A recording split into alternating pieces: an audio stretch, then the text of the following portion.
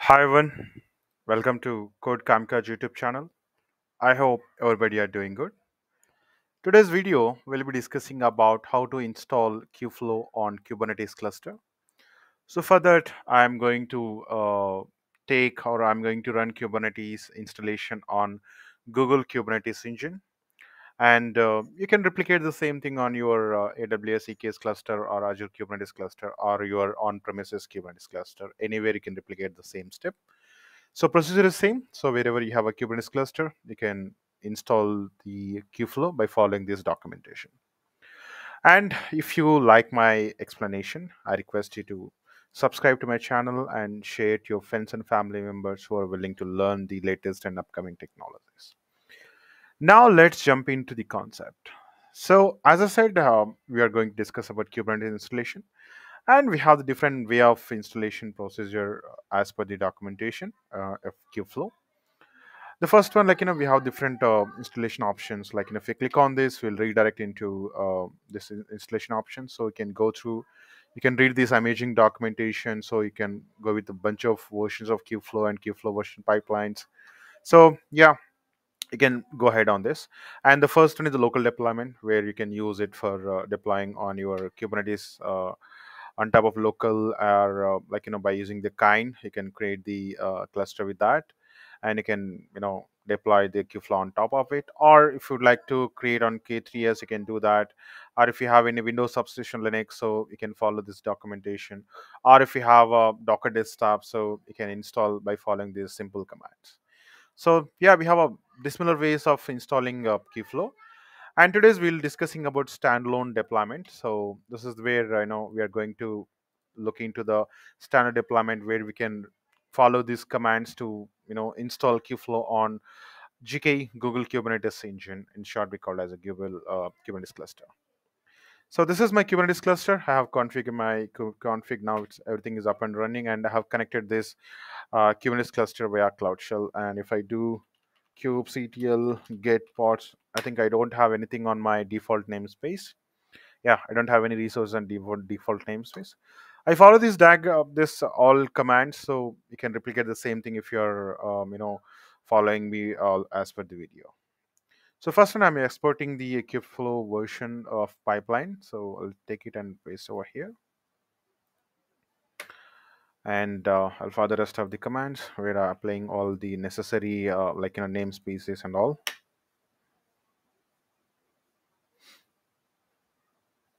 So it may take a little bit time well as per your internet speed and you know you can finish it off uh, as quick as it is but yeah this take time to you know creating all the resources of kubeflow and you know related to the respected namespace. Now i'm going to mention the kubeflow wait for conditional. Now it has been created. Now i'm going to apply all the resources on top of it. I'll clear the screen and i'm pasting the same command here now this command also will take a little bit uh, lesser uh, time to finish it off. And quick heads up it's completely depend on your kubernetes resources how big is your cluster and how uh, big your resources has been conf- configured such as gpus on top of your kubernetes cluster and it will create it. Or you can use uh, cpus also but it's better practice to use gpus because we'll be dealing with large data sets so you require a gpus to go you know handle all your machine learning workflows. Uh, it's just a quick heads up so if you're not following. And we'll be seeing some warnings so you can ignore for time being. It is all related to the cluster level so you can just ignore on top of it.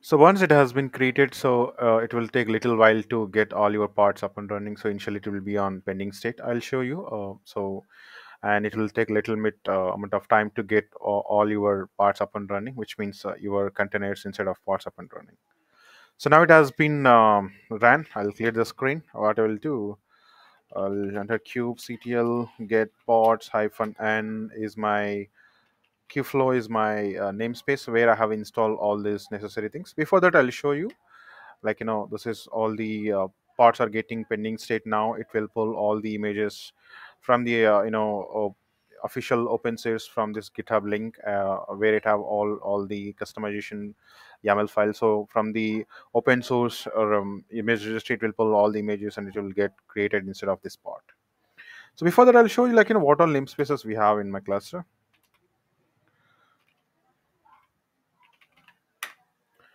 So as per default, I have the all or uh, very default things. If you're creating the um, you know Kubernetes cluster on top of GKE, till this point all are similar. But here we have created all the resources uh, of Kubeflow instead of this uh, you know Kubeflow namespace. That's why I mentioned Kubeflow get pods hyphen Kubeflow. Oh, sorry, kubectl get pods hyphen Kubeflow.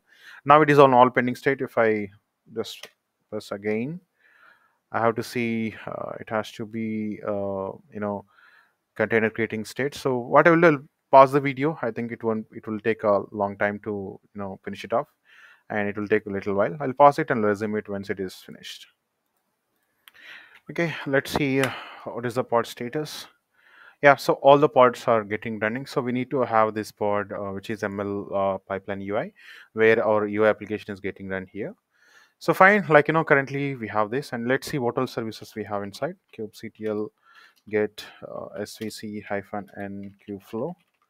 So with the default, like you know, while you're installing kubeflow, it will come up with the cluster IP. If you see this one, we have the cluster IP. Now we'll change this as a load balancer. For that, we just have a you know simple command. We'll copy it. So we just readied the uh, that respected uh, you know kubeflow UI service from cluster IP to uh, you know load balancer. So here it is a cluster IP. So we need to change it. I'll go with the uh, VI editor. I'll go with the insert mode. Uh, L has to be capital. Load B A L A N C E R. Load balancer. Fine. So B has to be capital. Escape. Shift colon right and click. And now it has been changed. Let's see, like you know, uh, the service kubectl get service hyphen and kubeflow. And now it has been changed as a load balancer. And if I do watch, uh, I'll give a watch for this only. We'll get one external IP for that, where we can use that IP to connect with the you know UI service. Now it is in pending state. So within fraction of a second, it will expose one IP address. So we can connect that IP address. We can see the Kubeflow UI, uh, like pipeline experiments, everything. Okay. Yeah, we got the uh, like an external IP. I'm going to copy this. So let me go to the browser and paste over here. So initially uh, it will take time to get it load because it has to map with the backend service. So you can give a multiple retries and finally it will get assigned to the backend service and we can see the ML Kubeflow UI over here. Come on, buddy. Let me refresh this again.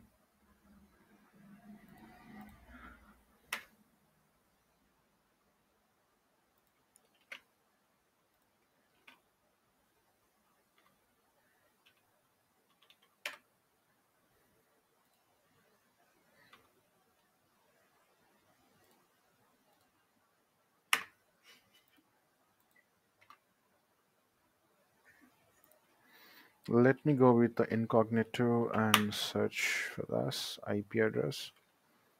In our case, this is the one external IP, so it has to be worked. And if not, with the multiple tries, we need to go and check the pod. Is there any restarts has been happening? And let's see, are there any restarts has been happening?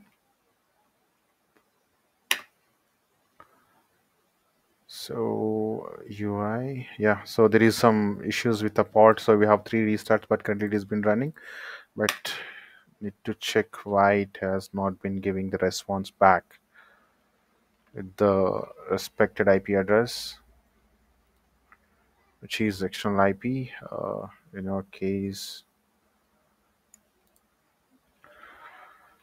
kubectl get svc kubeflow. Sorry, the flag has been hyphen n. We need to specify that. So this is the IP address, which is external, and it has to work. Yeah, now it has been working. So might be the uh, cache where it has to map in the backend. So that's why it has not been, you know, instantly getting connected. If we go to this incognito, it has to work here also.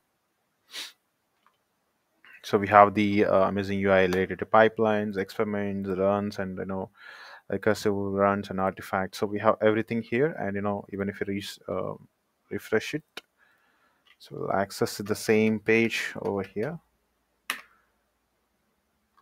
So this is how you can uh, make up and running of your uh, you know Kubeflow pipeline UI. And currently it has not been uh, followed HTTPS. That's why it is showing as uh, you know not secure. And you know you can follow this very basic commands to run and install it on your Kubernetes cluster.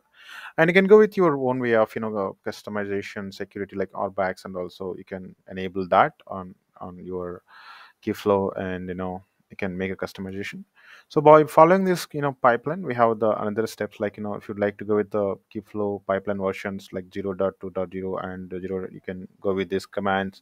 And you know if you'd like to go with the less than of 0.2.0, you can use this. And you know, and if you like to upgrading any Kubeflows, you can take with these uh, commands. And if you'd like to you know customize the Kubeflow pipeline, you can follow this. Uh, you know. Uh, the basic uh, steps and you can customize it. At the end if you'd like to uninstall it so you can uninstall the Kubeflow over here. So this is how like it's like you know you can uh, you know you can access the Kubeflow pipeline over here and you know you can enable your uh, Kubeflow uh, experiments here and you know you can run all your experiments you can run all your uh, Kubeflow pipeline. So I hope it is clear for you like you know installing of Kubeflow on top of Kubernetes cluster and uh, if you like this video, I request you to share and subscribe to my channel, Code Kamikaze, and thanks for watching. Bye bye.